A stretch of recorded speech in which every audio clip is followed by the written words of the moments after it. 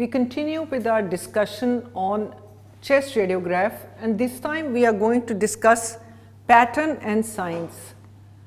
You know, increasingly when we discuss medicine today, we are supposed to use standard terminology. So this part of the talk basically refers to what standard terms you should use while describing a lesion in the chest. There are a lot of terms which are used by people, homogeneous, inhomogeneous.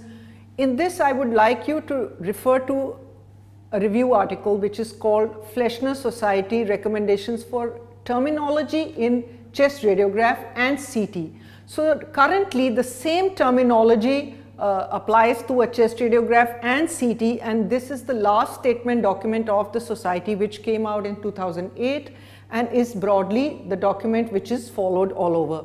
So most of the terms that I quote the definitions would you know take account the Fleischner Society statement. Some lesions they don't refer to and we discuss them often so I will be using those words also.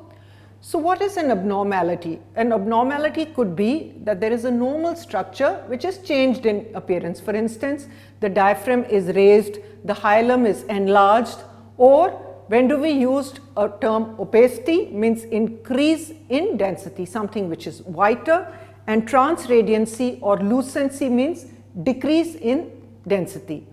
We first start with abnormal opacities. As I said, lesions can be pulmonary and extrapulmonary. Now what are the standard terms which you are supposed to use when you see a pulmonary opacity?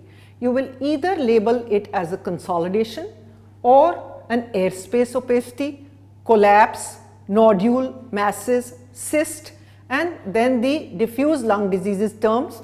We will see the description of each of these terms. Similarly, when we do extraparenchymal lesions, Pleural as well as chest wall pathologies simulate pulmonary pathologies. We have already dealt with the localization part of it. Now we are discussing use of the words and you will see as I told you combination of correct word, correct location and clinical you will have a diagnosis in the end. What is an airspace opacity?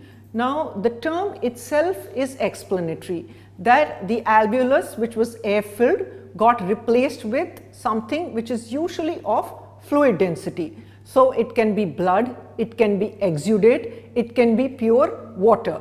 But for the X-ray it will look similar which is that these opacities are have ill-defined margins. You cannot make out the borders. They have irregular shapes. They coalesce which is